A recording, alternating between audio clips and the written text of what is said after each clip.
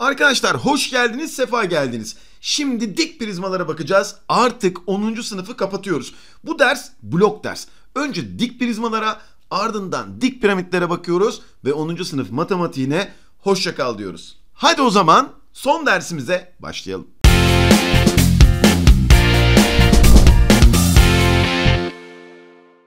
Dik prizmalar içerisinde 6 tane ana başlığımız var. Dik prizma, dikdörtgenler prizması, üçgen dik prizma, kare dik prizma, küp ve en son altıgen dik prizmaya bakarak bu ilk bölümü kapatmış olacağız. Peki bu prizmaların günlük hayatta kullanım alanları neler ve bunun arkasından senin ödevlerin neler olacak? Hadi gel bir de onlara bakalım. Kullanım alanları ve faydalarına şöyle bir bakabiliriz.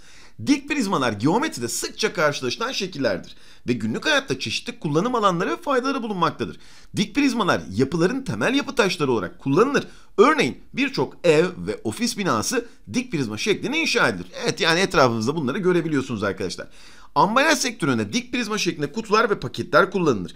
Bu şekil ürünleri düzgün ve düzenli bir şekilde taşımak için uygundur. Aslında bazı şekillerin hayat içerisinde kullanımları onların buna karşı performanslarıyla doğru orantılı. Demek ki bu kullanılan paketlerin dikdörtgenler prizması şeklinde olması kesinlikle performans açısından daha artı bir özellik ki onu kullanıyorlar. Bu şekil ürünleri düzgün ve düzenli bir şekilde taşımak için uygundur. Bazı bardaklar ve kavanozlar dik prizma şeklinde olabilir. Bu sayede saklama ve kullanım kolaylığı sağlar. Birçok monitör ve televizyon ekranında dik prizma şeklinde tasarlanır. Bu şekil ekranın stabilitesini arttırır ve kullanıcı için daha iyi bir görüntü deneyimi sunar. Peki bu başlıktan sonra neleri çözmeliyiz öğretmenim? Sıfırdan 10'a matematiği çalışıyorsanız sayfa 298'den 311'e kadar olan kısmı Dinamo matematikten çalışıyorsanız sayfa 339'dan 352'ye kadar olan kısmı çözmelisin. Konumuza şöyle bir giriş yapalım. Dik prizma diyor ki alt ve üst tabanları eş çokgenlerden oluşan cisimlere prizma deniyor. Bak bu önemli arkadaşım.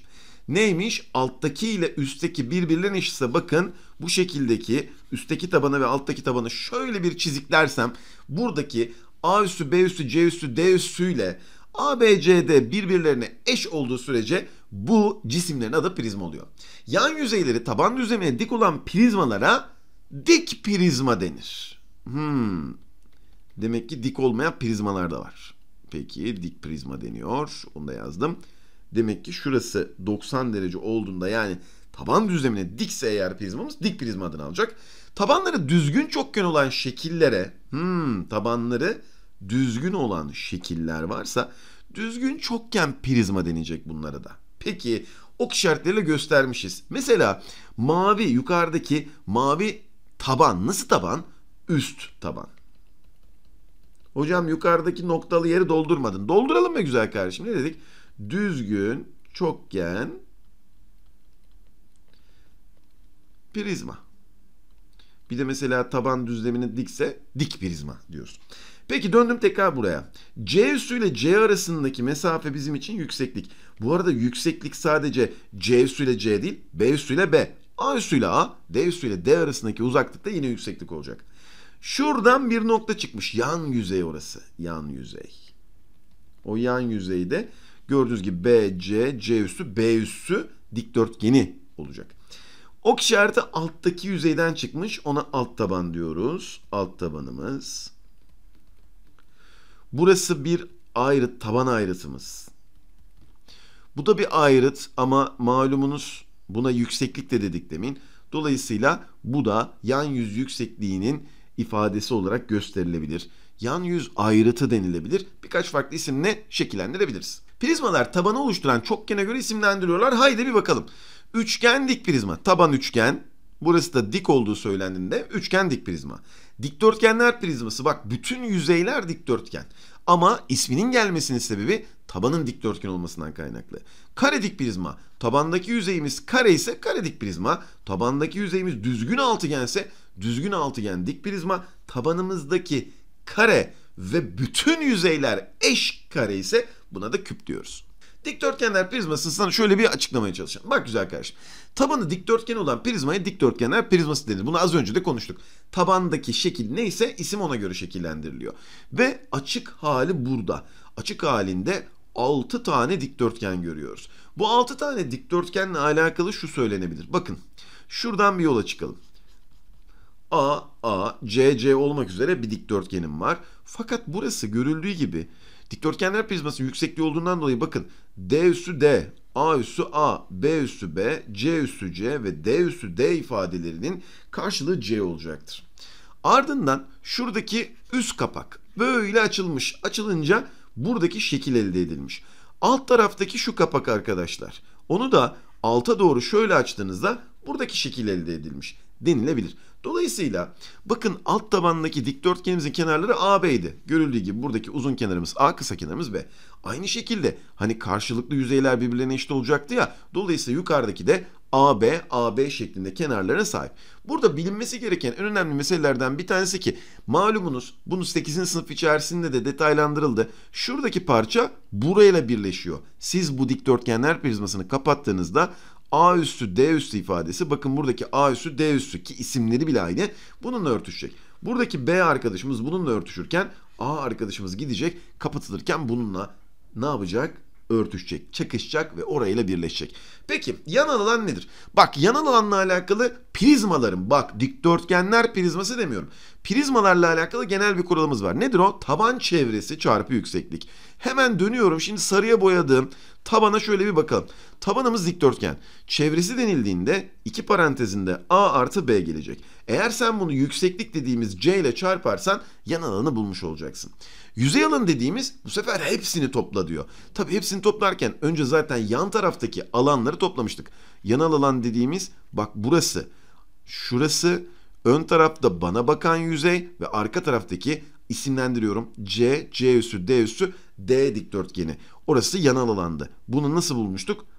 Taban çevresini yükseklikle çarparak. Artı bir de bunlara taban alanı olan A çarpı B ile üstteki tabanı eklersem yani 2AB'yi eklersem böyle bir şeyle karşılaşacağım. Fakat sevgili dostum biz bu 2'yi bir dağıtalım bir şey göstereceğim sana. Bak 2 ile dağıtıp bir de C ile çarpacağım. Dolayısıyla 2AC artı 2BC artı 2AB gelecek. Bunu iki parantezine aldığımda AC artı BC artı AB gelecektir buradan. Bu da şu demek ayrıtlardan iki farklı ayrıtı alıp birbirleriyle çarpıp bak A ile C'yi, B ile C'yi, A ile B'yi çarpmışız. Bunları toplayıp iki katını aldığımızda neye ulaşıyormuşuz? Yüzey alanına. Hacim bütün prizmalarda bu kuralla bulunuyor. Taban alanı çarpı yükseklik. Taban alanı A çarpı B demiştik. A çarpı B. Bunu da yükseklikle çarparsam C. Bunu da ezber olarak bu şekilde A çarpı B çarpı C olarak tutabilirsin hafızanda. Sorumuz diyor ki ayrıt uzunlukları 6, 10, 15 cm olan dikdörtgenler prizması şeklindeki bir cismin hacmini istemiş. Ne demiştik? A çarpı B çarpı C. Burada ayrıtlarımız 6, 10, 15 olduğundan dolayı bunların çarpımları olan 900 cm küp bu dikdörtgenler prizmasının hacmi olacaktır. Yüzey alanına geldiğimde onu da az önce konuştum. 6 var, 10 var, 15 var. Ne yapın dedik? İkili ikili çarpın. 6 ile 10'u çarptım 60. 6 ile 15 çarptım 90. 10 ile 15 çarptım 150. Bunların her birisinden ikişer tane olduğundan dolayı bunları toplayıp 2 ile çarpacağım. Dolayısıyla 60 ile 90'ı topladığımda 150, bir 150 de burada var. 300, 2 ile çarptığımda da yüzey alanının karşılığı 600 cm kare gelecektir. Sıradaki sorumuzda diyor ki ayrıt uzunlukları diyor 12, 16, 24 olan diyor yukarıdaki şekilde verilen dikdörtgenler prizmasında K noktası EH'nin L noktası ise AB'nin orta noktasıymış. Hadi canım diyor KL'yi bul bana. Şimdi bak arkadaş K'dan aşağı doğru bir yükseklik indiriyorum.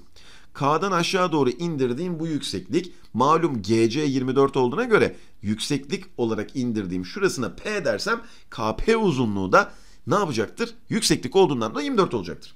Şimdi çok bomba bir cümle söylüyorum. Bakın bu KP yüksekliği tabandaki ABCD dikdörtgenine dik. Dik dik olmasına ama ABCD'nin içinde çizilen her çizgiye de dik olmak zorunda. O zaman şu P'yi bir ortadan kaldırıyoruz. Şöyle bir P ile L noktasını birleştiriyoruz. Burası P ile L noktasını birleştirdiğimde. Şurası 90 oldu arkadaşlar. Ne demiştik? KP dikdörtgen içerisindeki her çizgi dik olacak. PL'de dikdörtgen içerisinde bir çizgi olduğundan dolayı burası dik. Şimdi gelelim şuraya. Burası 12. O zaman FG de 12.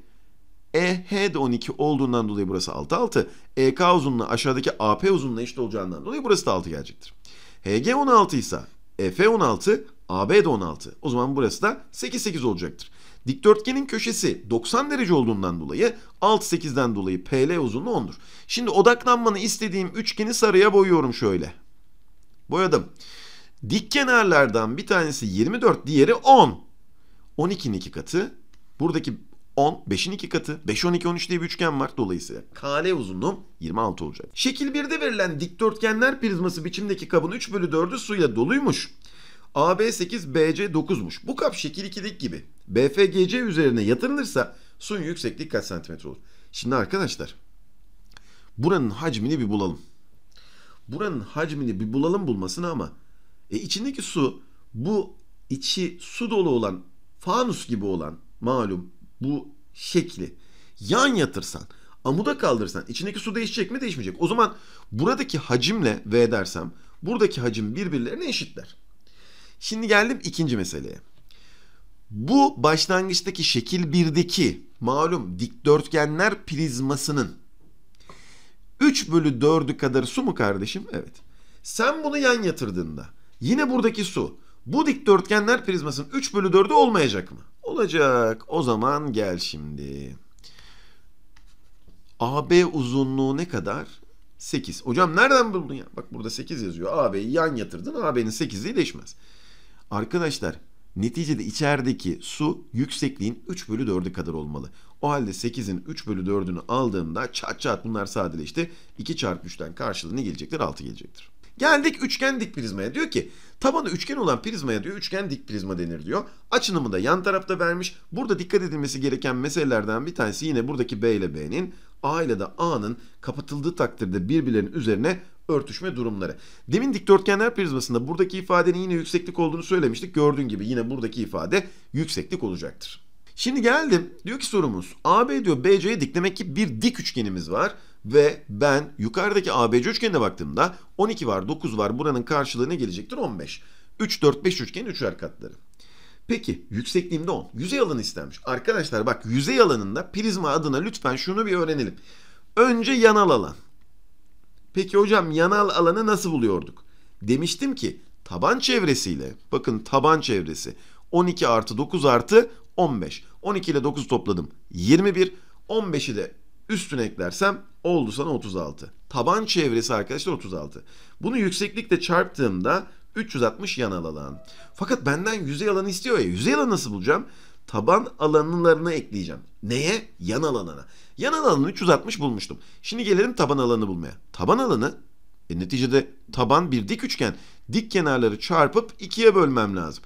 Buradan da karşılığı 54 gelecektir. Ama bu 54'ten iki tane var. Dolayısıyla Hocam iki tane nasıl var? E kardeş bir de alt tarafta 54 var. Onun için toplam 108 ilave etmem lazım. Buradan da toplamları 468 olacaktır. Geldim B sorusuna. Hacmini sormuş. Neydi bu? Taban alanı çarpı yükseklik. Taban alanını 54 bulmuştuk. Yükseklikte soruda 10 verilmiş. Dolayısıyla bunları çarparsam buradan karşılığı 540 santimetre küp gelecektir. Karedik prizmanın özelliği ise tabanının kare olması. Bak yine aynı duruma bir parmak basayım. Bak yükseklikler burada. B, B, B. Yan tarafta malumunuz bir kenarı A olan, bir kenarı B olan 4 tane bakın 1, 2, 3, 4 tane dikdörtgenim. Tabanında ise kenarları A olan 2 tane karem var. Yanal alan denmiş. Arkadaşlar bizde değişen bir durum yok. Taban çevresini hesap edeceğiz. Taban bir kare, bir kenarı A ise taban çevresi 4A. Bunu yükseklik dediğimiz B ile çarparsak şu an yan alanı bulmuş durumdayız. Hocam şöyle de yapamaz mıydık? Sen demin gösterdin. Buranın alanı A çarpı B. E 4 tane bundan var. 4AB kesinlikle doğru olurdu. Geldim yüzey alanına. Yüzey alanı için önce bir yanal alan artı üstüne de malumunuz alttaki üstteki alanları ekleyeceğiz. E taban kare olduğundan dolayı üst tabanda a kare, alt tabanda kare oldu sana 2a kare. Hacime geldiğimizde ise taban alanıyla yani a kare ile yüksekliği çarpmam lazım. Dolayısıyla buradan da karşılığı a kare çarpı b gelecektir. Tabanın çevre uzunluğu 36 cm ve hacmi 486 cm küp olan bir dik kare prizmanın yanal alanı istenmiş. Şimdi bu dik kare prizmamızı şöyle bir çizelim. Taban çevresi ne kadardı arkadaşlar? Taban çevresi 36 idi. Bu bir kare olduğuna göre tüm kenarları eşit 36'yı 4'e böldüğümde demek ki bu tabanın 9 9 ayrıtlara sahip olduğunu buldum. Bana verilen başka bir bilgi daha var. Ne demiş? Hacmi 486 demiş. O halde hacim nasıl bulunuyordu? Taban alanı ne kadar? 81. Bunu yükseklikle çarptığımda 486'ya ulaşmış olmam lazım. Bu durumda h'ın karşılığı buradan 6 gelecektir. Yüksekliği de buldum. Şimdi gelelim yanal alanına. Yanal alan nasıl bulunuyordu? Taban çevresi. Taban çevresi soruda bile verilmiş 36. Bunu tutup yükseklikle çarparsan buradan yanal alanı 216 elde etmiş olursun. Küp ifadesine geldi. Küp 6 tane yüzeyi olan, bütün yüzeyleri kare olan bir şekil. Gördüğünüz gibi yan taraftaki açınımda da malumunuz bütün her yerin A, A, A, A kenarlarına sahip olan 6 tane kare olduğunu görüyorsun. Yanal alanı konuşalım. Yanal alan neydi? Taban çevresi. Tabanda çevre A, A, A, A, 4A. Yükseklik dediğimiz ifade de A. Bunu çarparsam buradan karşılığı 4A kare olacaktır.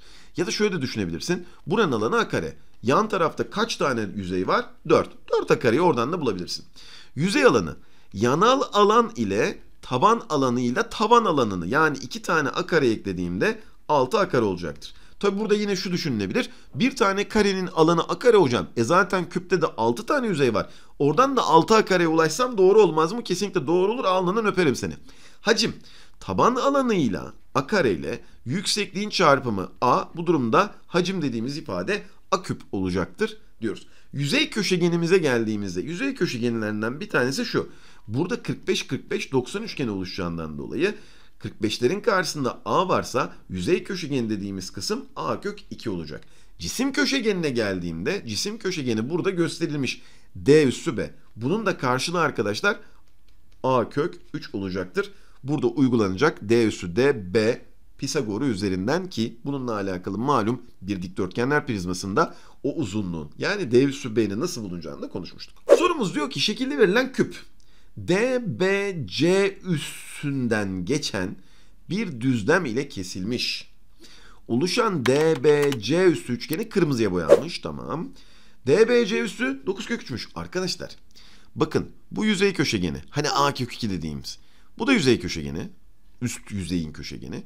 Bu da bize bakan yüzeyin köşegeni. Bunların her birinin uzunlukları A kök 2. Yani bize bahsedilen DBC üssü üçgeni var ya o üçgen eşkenar.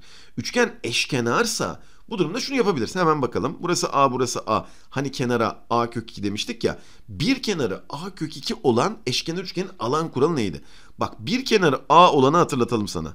Karesini alıyorduk. Yanına kök 3 aşağıya 4 koyuyorduk. O zaman şu an bir kenarı A kök 2 ise önce A kök 2'nin karesini alacağız. Yanına kök 3 aşağıya da 4 yazacağız. İşte bu durumda kime eşit olmuş olacak? 9 kök 3'e.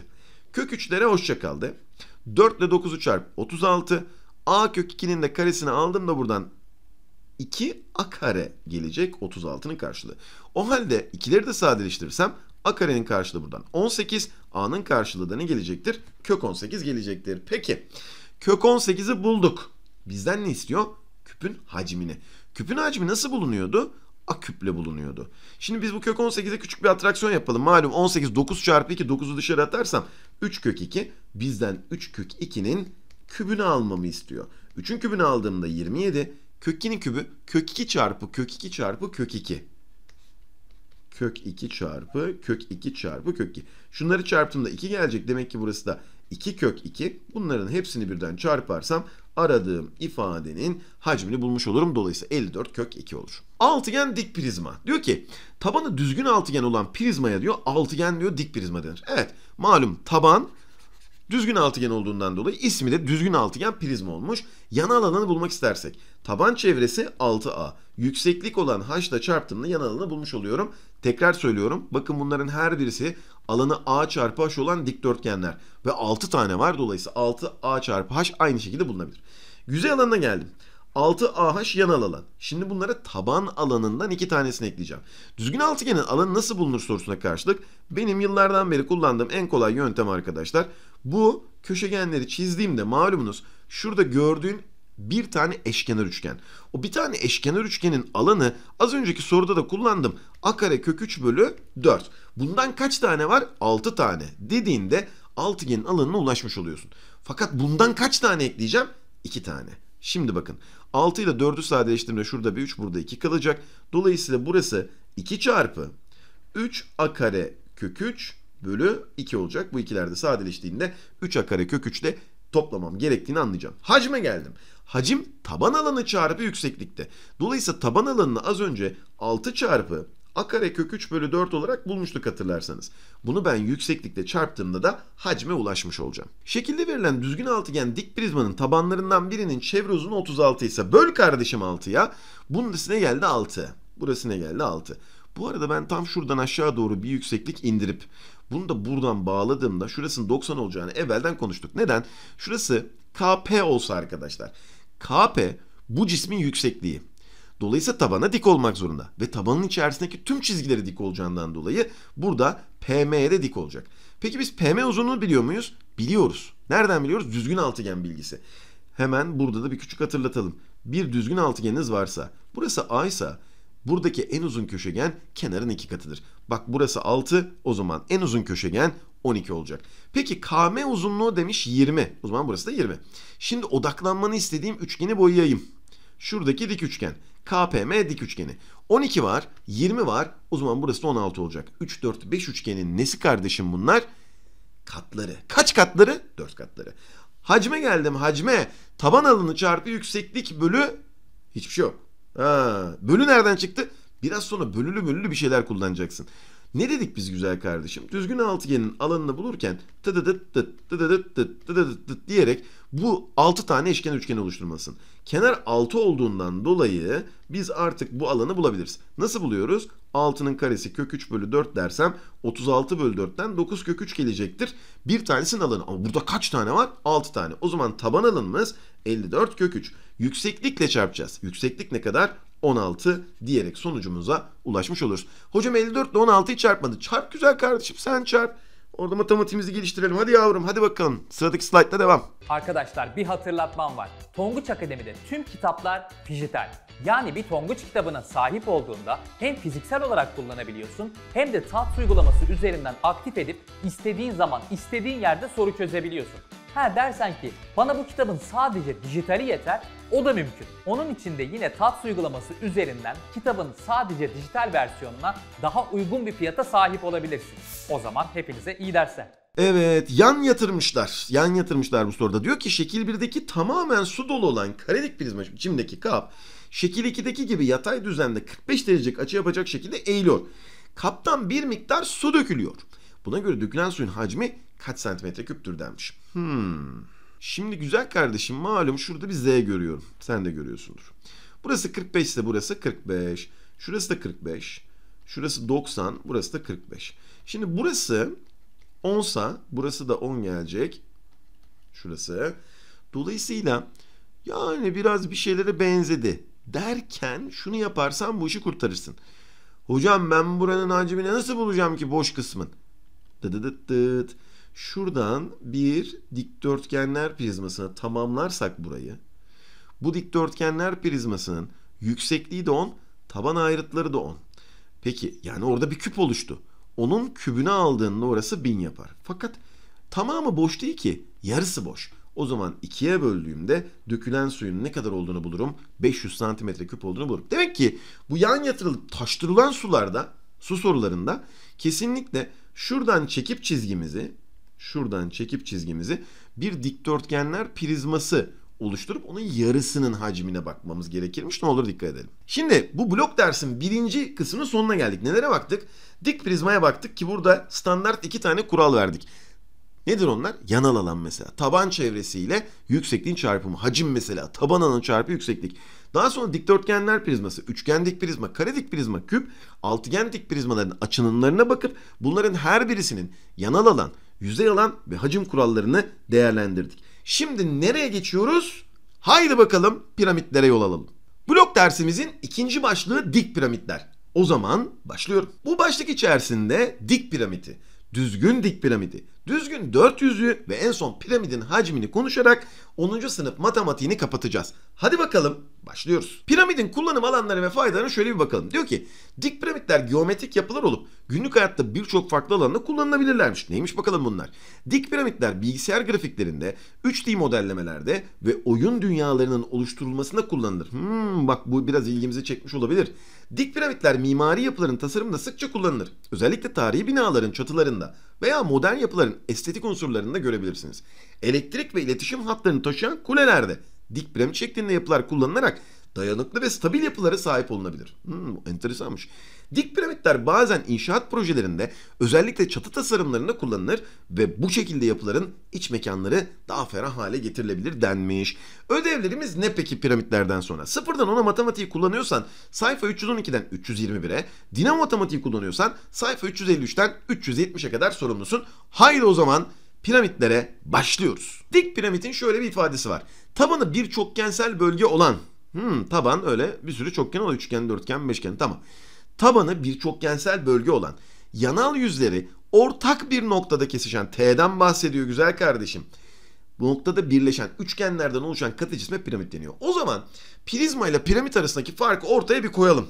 Prizmada aşağıda bir şekil vardı. Bir çokgen. Bazen kare bazen üçgen. Yukarıda aynısından vardı. Piramitlerde ise aşağıda bir çokgen var. Yukarıda aynısından yok. Yukarıda sadece bir nokta var. O noktaları köşelerle birleştiriyoruz kardeşim. Peki diyor ki tepe noktası ile piramidin tabanı olan çokgenin ağırlık merkezini birleştiren doğru parçası tabana dikse bak çizmişiz. TG TG TG dik olmuş burada. Eğer dikse diyor bu tarz piramitlere dik piramit denir diyor. Bir ekstra da piramitlerde prizmalarda olduğu gibi tabanlarına göre adlandırılıyor. Eğer tabanımız burada gördüğün gibi üçgen şeklinde ise üçgen dik piramit, kare ise kare dik piramit, dikdörtgen ise dikdörtgen dik piramit, eğer düzgün beşgense ya da düzgün altıgense ismi düzgün beşgen dik piramit ya da düzgün altıgen dik piramit olarak isimlendiriliyor. Sorumuz diyor ki şekilde verilen dikdörtgen dik piramitte. Dikdörtgen tabanlıymış bir de dikmiş. Demek ki o TO burada gösterilmese bile şuranın 90 olduğunu biz biliyoruz. Peki. TC 13, AB 8, BC 6. Bakın arkadaşlar bu O noktası neydi? Tam orta noktasıydı buranın. Hmm. O zaman ben şöyle bir uzunluk çizsem AC köşegenini. Buranın 90 olduğunu bildiğimden dolayı. Nereden biliyorum? Çünkü taban dikdörtgen. 6 var 8 var. Burası 10 olacak. E köşegende tam orta nokta dediğimiz kısım burayı 5-5 ayıracağından dolayı bakacağım son dik üçgen şuradaki TOC dik üçgeni olacaktır. Birisi 5, birisi 13. O zaman yüksekliğimizin karşılığı buradan 12 gelecektir ki bizden istenen de odur. Sıradaki sorumuzda diyor ki şekildeki üçgen dik piramitte AB AC'ye dikmiş, AB 18'miş, AC de 24'müş. Piramidin yüksekliği ise 10 santimetreymiş. Tamam süper. Buna göre diyor TA'yı diyor bulur musun? Bulalım güzel kardeşim. Bu T malumunuz tam orta noktaya inecek ve bu indiğinde buranın karşılığı 10 olacak. Öyle demiş piramidin yüksekliği 10 santim. Peki bu üçgeni temel, tabanda üçgen var ya üçgenin tam orta noktası ağırlık merkezi değil midir? Evet ağırlık merkezi nasıl bulacağız? ABC bir dik üçgen. 18 var 24 var. 3'ün 6 katı 4'ün 6 katı. O zaman BC'de 5'in 6 katından 30 olacak. Devam ediyorum. O zaman şöyle bir muhteşem üçlü oluşturacak şekilde kenar ortay çizersem. Hocam kenar ortay ne alaka? Kenar ortay çizmelisin. Çünkü üçgenin tam orta noktası dediğimiz ağırlık merkezinin en temel özelliği kenar ortayların kesiştiği noktadır. Dolayısıyla burası ne olacak? 15, burası da 15. Bizim çizdiğimiz AE uzunluğu yani kenar ortay da 15 olmalı. Çünkü muhteşem üçlü onu gerektirir. Ve ağırlık merkezi 1'e 2 oranında parçalayacağı için buraya 5, buraya da 10 kalacaktır. Peki son hareket. Şu 10 ile bakın şu üçgende 10 ile 10'un kesiştiği yer kesinlikle 90'dır. Nereden biliyorum oranın dik olduğunu? TH ne olmalı arkadaşlar? Yükseklik olduğundan dolayı tabana dik olmak zorunda. Tabana dik olmakla kalmıyor. Bir de ne yapıyor? Tabana dik olduğundan dolayı tabanın içindeki herhangi bir uzunluğa ki AH bunlardan bir tanesi ona da dik oluyor. O halde burası 10 10'dan dolayı AT uzunluğu 10 kök 2 olacaktır. Çünkü ATH üçgeni hem ikizkenar hem de dik olduğundan dolayı 45 45 90 üçgenidir. 45'lerin karşısında 10 varsa 90'ın karşısında da 10 kök 2 vardır. Düzgün dik piramide geldik. Tabanı düzgün çokgen ve yan yüzeyleri eş ikizkenar üçgenler olan dik piramide düzgün dik piramit denir demiş. Bakalım ilk sorumuz şöyle. Şekildeki kare dik piramidin cisim yüksekliği 8 santimetre. Hemen tepeden aşağı doğru şeklin tam orta noktasına bir yükseklik indirdiğimde bu indirdiğim yüksekliğin 8 olduğu söylenmiş. TC 2 kök 34'müş. Bak şimdi. Bunu böyle bir birleştirdim. Şurası 2 kök 34. Artık buranın niye 90 olduğunu biliyorsun. Defalarca söylemiştik. Burada THC üçgeninde bir Pisagor uygularsam. Şuraya x diyorum ve Pisagor'umu uyguluyorum. 2 kök 34'ün yani hipotenüsün karesi eşittir 8'in karesi artı x'in karesine. 2 kök 34 2'nin karesinden 4 kök 34'ün karesine 34 8'in karesinden 64 artı x kare gelecek. 4 ile 34'ü çarptığımda arkadaşlar burasının karşılığı 136 yapar. Eşittir 64 artı x kare. 64'ü karşı tarafa atıp bunu çıkarttığımda bu durumda 72 eşittir x kare ki x'in karşılığı bu durumda kök 72. 72 sayısı da malum 36 ile 2'nin çarpımı. Dışarıya 6 diye çıkarsa buranın karşılığı 6 kök 2 olacak. Bak şunu uzattığınızda burası da 6 kök 2. A, B, C, D bir kare olduğundan dolayı buralar 45, 90, 45 üçgeni. 90'ın karşısında AC uzunluğu var ve 12 kök 2 ise kenarların bu durumda 12 gelecektir. Geldim piramidin yan yüzeyinin alanına. Piramidin yan yüzeyini nasıl buluyoruz biliyor musun arkadaşım? Taban çevresiyle yan yüz yüksekliğini çarpıp ikiye bölüyoruz. Hocam yan yüz yüksekliği nedir ki acaba? Tamam hemen bulalım senin için. Ama azıcık temizleme yapıyorum. Şöyle buradan şuraya doğru bir dik atıyorum. Burası alt alta ayrılıyor. Şuradan şurayı birleştirdiğim anda bu çizdiğim düzgün olması gereken fakat ben biraz yamuk çizdiğim uzunluk var ya orası yan yüz yüksekliği.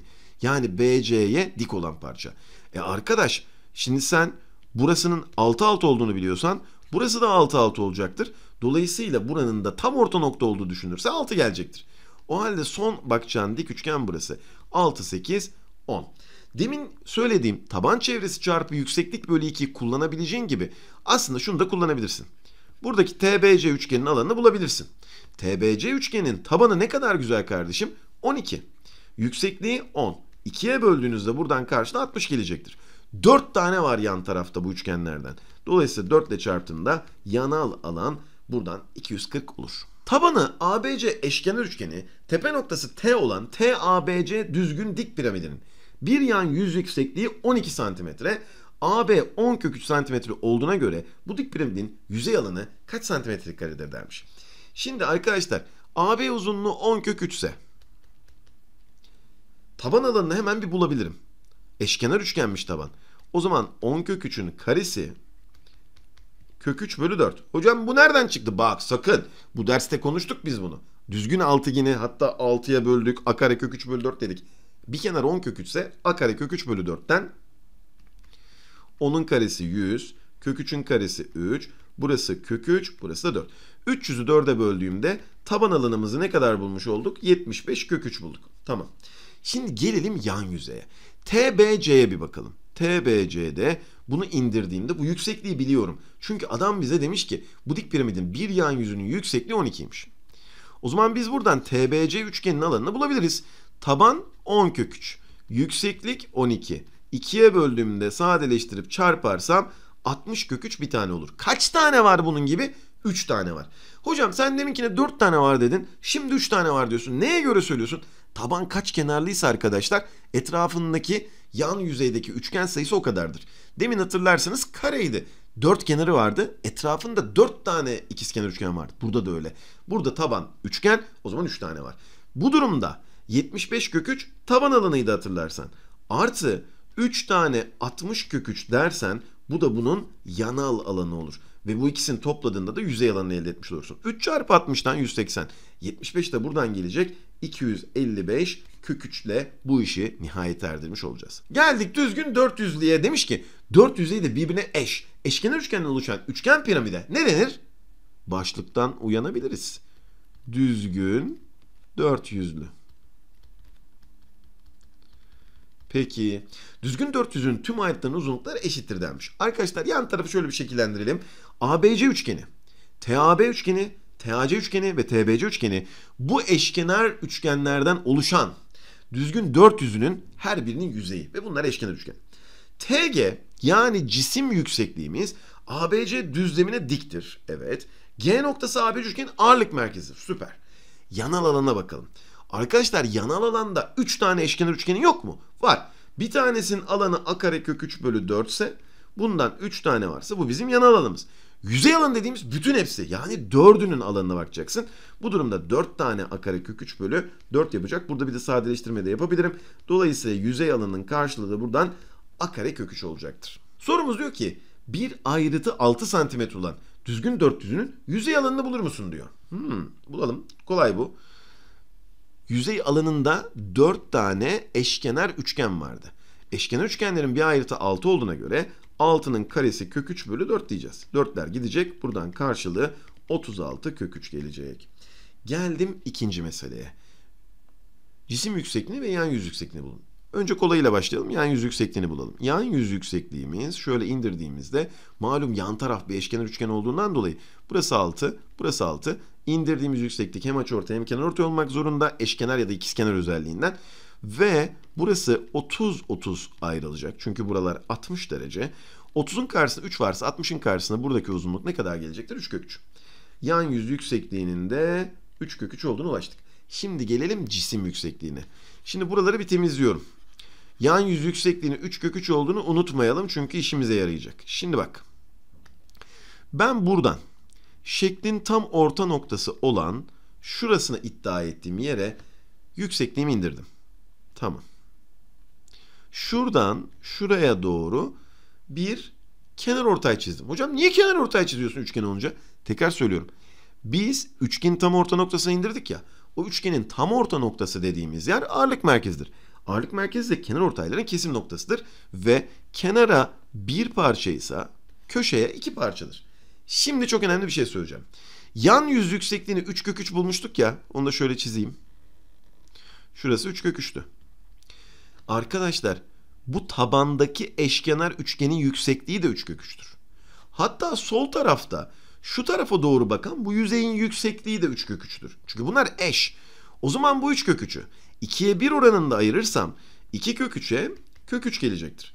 Şuranın da 90 olduğu düşüncesiyle gel şimdi burada Pisagor uygulayalım. 3 kök 3'ün karesi eşittir. Kök 3'ün karesi artı h'ın karesi diyeceğiz. 3 kök 3'ün karesinden 27. Kök 3'ün karesinden 3 artı h kare. 3'ü attım karşıya 24 eşittir. h kare. h eşittir kök 24. Bu da 4 çarpı 6 4'ü dışarı atarsam 2 kök 6 diye bulunmuş olacaktır. Tonguç 10'dan 11'e hazırlık seti çıktı.